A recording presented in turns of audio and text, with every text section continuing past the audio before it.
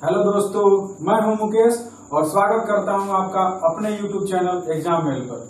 जैसा कि हमने पिछले वीडियो में पढ़ा था आपके फिजिक्स के फ़र्स्ट चैप्टर को और हमने उस वीडियो में जाना था कि प्रकाश क्या होता है और प्रकाश के गुण क्या क्या होते हैं। तो प्रकाश में हमने देखा था कि क्या? प्रकाश एक प्रकार की ऊर्जा होती है जो हमको वस्तुओं को दिखाने में मदद करती है। ठीक है?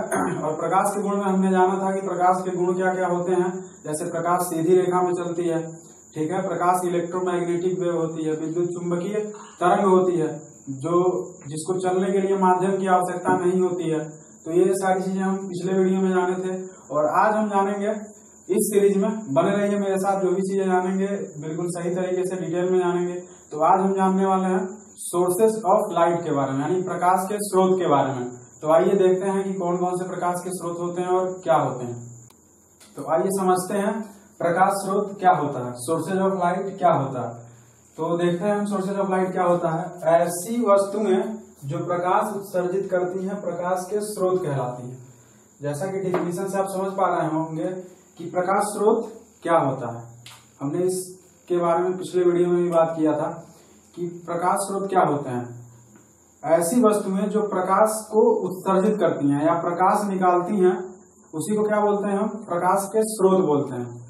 तो देखिए एग्ज़ाम्पल के रूप में हम देखते हैं, सूर्य क्या है आपका? सूर्य भी क्या है? प्रकाश का स्रोत है।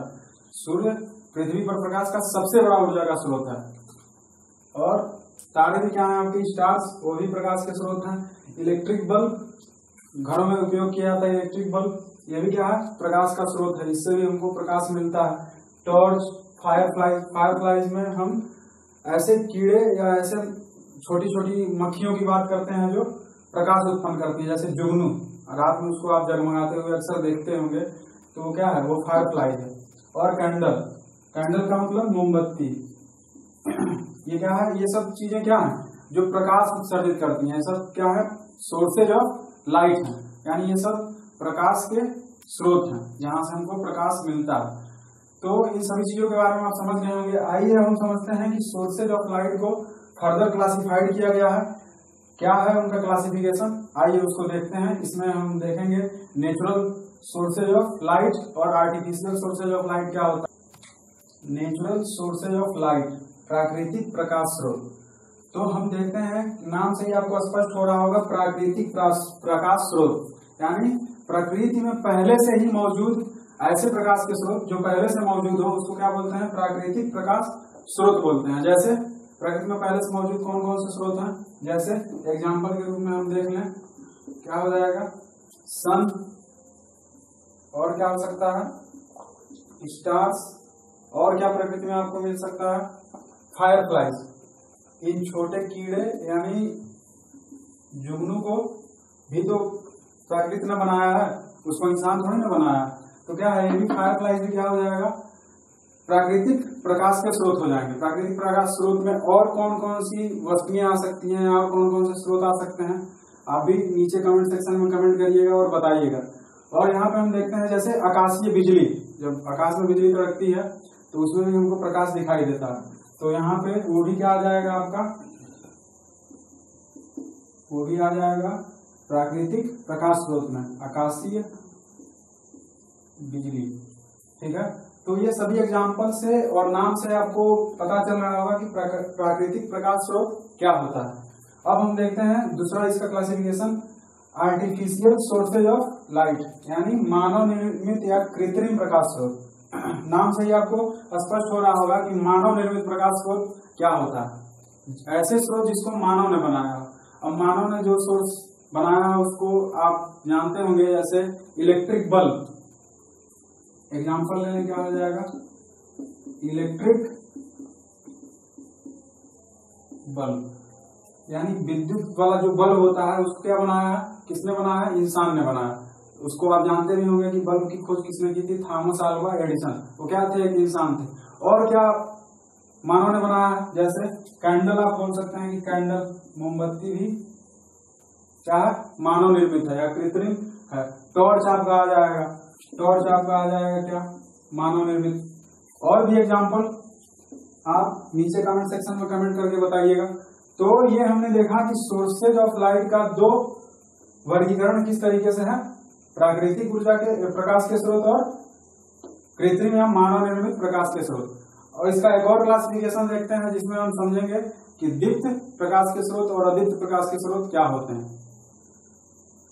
प्रकाश स्रोत के एक और क्लासिफिकेशन को हम यहाँ पर देखते हैं। लुमिनस सोर्सेज ऑफ़ लाइट अर्थात दीप्त प्रकाश स्रोत और non luminous sources of light अदीप्त प्रकाश स्रोत। तो पहले वाले को समझते हैं दीप्त प्रकाश स्रोत क्या होते हैं। ऐसे प्रकाश के स्रोत जिनके पास खुद की ऊर्जा होती है। खुद की ऊर्जा का कहने का मतलब खुद का प्रकाश होता है। ऐसे प्रकाश के स्रोत जिनके पास खुद का प्रकाश होता है, वो कौन से प्रकाश के स्रोत कहलाते हैं? दीप्त प्रकाश के स्रोत। अर्थात जितने भी प्रकाश स्रोत हैं, जितने भी प्रकाश स्रोत हैं, उनके पास खुद का ही तो लाइट होगा, तभी तो वो प्रकाश स्रोत कहे जाते हैं। अर्थात, ये सभी सन स्टार्स एग्ज़ाम्पल क्या हो जाएगा? Sun stars electric bulb fireflies candle ये सब क्या है? ऐसे प्रकाश के स्रोत हैं, इनके पास खुद का प्रकाश होता है। ये जलते हैं, तभी जाके प्रकाश उत्सर्जित होता है। तो इनके पास क्या हुआ? खुद का प्रकाश हुआ। तो ये सारे प्रकाश के स्रोत क्या कहलाएँगे? दीप्त प्रकाश के स्रोत कहलाएँगे। तो ये चीज़ आपको अच्छे तरीके से समझ में आ गई होगी कि दीप्त प्रकाश के स्रोत किसे कहते हैं। Such type of things which have their own light is called luminous sources of light अब देखते हैं हम non luminous sources of light के बारे में। अतिरिक्त प्रकाश के स्रोत। यहाँ आपको नाम से स्पष्ट हो रहा होगा कि ये इसके विपरीत होगा। यानी अधिक प्रकाश स्रोत क्या होगा? ऐसे वस्तुएँ ऐसे ऑब्जेक्ट जिनके पास खुद का प्रकाश नहीं होता। खुद का प्रकाश न होने का सेंस क्या है? कि जो भी वस्तुएँ आपके आसपास दिख रही हैं, प्रकाश स्रोत को छोड़कर, वो सारी किसमें आती हैं? अधिक प्रकाश स्रोत में आती हैं। जैसे इस रूम में रखी, अन्य वस्तुएँ जैसे टेबल मेज, कुर्सी, अलमारी ठीक है? ये सारी क्या है? ऐसी वस्तुएँ हैं इनके पास खुद का प्रकाश नहीं है, बल्कि ये अन्य प्रकाश के स्रोत में दिख रही है हमें इनके पास खुद का प्रकाश नहीं है। तो ऐसी वस्तुओं को क्या बोलते हैं? अधिक प्रकाश स्रोत। एग्ज़ाम्पल में हम क्या ले सकते हैं? टेबल बल्कि आपका चंद्रमा मून वो रात में चमकता तो ज़रूर है, पर उसके पास वो खुद का प्रकाश नहीं है। वो सूर्य के प्रकाश को किरणों को रिफ्लेक्ट करता है, जिससे हमको लगता है कि उसके पास खुद का प्रकाश है। तो चंद्रमा भी क्या है? उसके पास खुद का प्रकाश नहीं है। टेबल भी क्या है? उसके पास खुद का प्रकाश नहीं है। ठीक है? टेबल और भी क्या आ सकता है? ब्रिक, ईटे जो है, और क्या आ सकता है? बुक, और भी बहुत सारी चीज़ें हैं जिनको आप अच्छे तरीके से जानते हैं कि उनके पास खुद का प्रकाश नहीं है। तो यहाँ हम समझ गए होंगे कि लुमिनस सोर्सेज ऑफ़ लाइट क्या होता है? Non luminous sources of light क्या होता है? अब हम देखते हैं कि ऑप्टिकल मीडियम क्या होता है। ठीक है ऑप्टिकल मीडियम को हम समझते हैं कि प्रकाशिकी माध्यम क्या होते हैं, जैसे पारदर्शी माध्यम, अपारदर्शी माध्यम अल्प पारदर्शी माध्यम। तो आइए इन तीनों को समझते हैं और ये भी जानते हैं कि पारदर्शी माध्यम क्या होता है। तो हम समझते हैं ऑप्टिकल मीडियम यानी प्रकाशिक माध्यम क्या होता है। तो प्रकाशिक माध्यम में हम समझते हैं, प्रकाश जिन माध्यमों से होकर गुजरता है, उस माध्यम को प्रकाशिक माध्यम कहते हैं। यहाँ पे आपको एक कंफ्यूजन आ रहा होगा। एक वर्ड है यहाँ पे ऑप्टिकल हम यहाँ पे प्रकाश, प्रकाशिक माध्यम पढ़ रहे हैं तो यहाँ पे होना चाहिए लाइट मीडियम लेकिन हम यहाँ पे ऑप्टिकल ये नया वर्ड कहाँ से आ गया? तो मैं इस वर्ड को थोड़ा क्लियर करना चाहूँगा। देखिए लाइट की स्टडी जब हम फिजिक्स में करते हैं तो उसको हम बोलते हैं ऑप्टिक्स यानी study of light is called optics in physics यानी फिजिक्स में क्या कहा जाता है? प्रकाश के अध्ययन को ऑप्टिक्स कहते हैं। तो यहाँ पे हम प्रकाशिक माध्यम का अध्ययन कर रहे हैं तो इसीलिए वर्ड यहाँ पे आ गया है ऑप्टिकल मीडियम तो इस शब्द से थोड़ा भी मतलब परेशान मत होइएगा कि ये नया वर्ड कहाँ से आ गया। अब आप इसको समझ गए होंगे ऑप्टिकल मीडियम तो क्या है प्रकाशिक माध्यम? प्रकाश जब माध्यमों से गुजरता है तो जिन माध्यमों से गुजरता है, उसी माध्यम को हम क्या बोलते हैं? प्रकाशिक माध्यम बोलते हैं। आप जानते हैं कि प्रकाश को चलने के लिए प्रकाश को चलने के लिए माध्यम की आवश्यकता नहीं होती है। लेकिन जब वो प्रकाश चलता है तो बीच में धूल के कण या कांच या जल या अन्य माध्यम आते हैं जिनसे उसको होकर गुजरना होता है। तो हम देखते हैं कि कौन से माध्यम उसको गुजरने देते हैं, कौन से माध्यम नहीं गुजरने देते। उस आधार पे इन माध्यमों को बांटा गया है। माध्यमों का मतलब जो बीच में प्रकाश के रास्ते के बीच में आने वाले जो माध्यम है, उन माध्यमों को बांटा गया है, जिनको हम पढ़ने वाले हैं। पारदर्शी माध्यम जिसको बोलते हैं ट्रांसपेरेंट मीडियम और अल्प पारदर्शी माध्यम जिसको बोलते हैं ट्रांसलूसेंट मीडियम अपारदर्शी माध्यम ओपैक मीडियम बोलते हैं। तो आइए इसमें पहले वाले को समझने की कोशिश करते हैं, पारदर्शी माध्यम क्या होता है। तो यहाँ पे देख सकते हैं, ऐसे माध्यम जिनसे प्रकाश अधिकांशतः आर पार चला जाता है। अधिकांश, यानी ऐसा माध्यम जिनसे प्रकाश आर पार चला जाए। आप उस माध्यम को समझ सकते हैं क्या? है एग्ज़ाम्पल के रूप में आप ले सकते हैं। एयर और क्या लिख सकते हैं? ग्लास कांच से भी और वाटर ये क्या है? जब ये प्रकाश चलती है तो ये बीच में आ सकते हैं कि नहीं ये मीडियम बीच में एयर आ सकता है। ग्लास यानी कांच आ सकता है। जल भी आ सकता है। तो ये ऐसे मीडियम है जो प्रकाश को आर पार चले जाने देते हैं। यानी such type of medium which allow to light pass through them is called transparent medium यानी ये क्या है? एयर ग्लास वाटर क्या है? ऐसे मीडियम है जो प्रकाश को अपने से होकर गुजरने देते हैं और प्रकाश उनसे आर पार चला जाता है। तो ऐसे मीडियम को क्या बोलते हैं? पारदर्शी माध्यम। नाम से ही समझ में आ रहा होगा जिसके पार चला जाए। पार तक पहुँच जाए, उसी को पारदर्शी माध्यम बोलते हैं। अब दूसरे पे चलते हैं। दूसरा है हमारा अल्प पारदर्शी माध्यम। यहाँ नाम से आपको पता चल रहा होगा अल्प। अल्प का मतलब क्या होता है? थोड़ा सा ठीक है? तो थोड़ा सा पारदर्शी माध्यम जो होगा थोड़ा सा पारदर्शी का माध्यम, यहाँ देखते हैं, ऐसे माध्यम जिनसे होकर प्रकाश का कुछ भाग आर पार जाता है, पूरा नहीं जा पाता है। नाम से भी यहाँ आपको स्पष्ट हो रहा है अल्प। यानी थोड़ा सा क्या होता है? आर पार चला जाता है। तो ऐसे माध्यम को क्या बोलते हैं? अल्प पारदर्शी माध्यम। अब देखते हैं एग्ज़ाम्पल के तौर पे कि कौन कौन से अल्प पारदर्शी माध्यम हो सकते हैं। जैसे आप ऑयली पेपर देखते होंगे। जैसे आपके पास कोई पेपर हो, उस पर ऑयल लगा लीजिए तो आप देखते होंगे, उस साइड में की वस्तुएँ हल्की हल्की दिखाई दिखाई देने लगती हैं। जैसे एग्ज़ाम्पल के रूप में क्या हो गया? ऑयली पेपर और क्या हो सकता है? अगर शुद्ध जल हो, एकदम साफ़ जल हो तो वो क्या होता है? पारदर्शी माध्यम होता है। लेकिन वही हल्का सा गंदा जल हो जिसमें थोड़ा मिट्टी, कचरा मिला हुआ हो, जिसको क्या बोलते हैं? गंदा जल या गंदा पानी, जो भी बोल लीजिए। गंदा जल भी क्या होता है? अल्प पारदर्शी माध्यम होता है। वो प्रकाश को आर पार जाने देता है, लेकिन बहुत ही कुछ भाग को जाने देता है। तो ये क्या है? ये ऐसे मीडियम है जो अल्प पारदर्शी होते हैं। तो ये अल्प पारदर्शी भी आप समझ गए होंगे। अब अगले नंबर की बात करते हैं लास्ट अपारदर्शी माध्यम। आप जानते हैं कि किसी वर्ड के आगे अ लग जाने से उसका अनर्थ हो जाता है। तो पारदर्शी के आगे अ लग गया है, उसका अनर्थ हो गया। यानी अब वो पार तक नहीं जा पाएगा।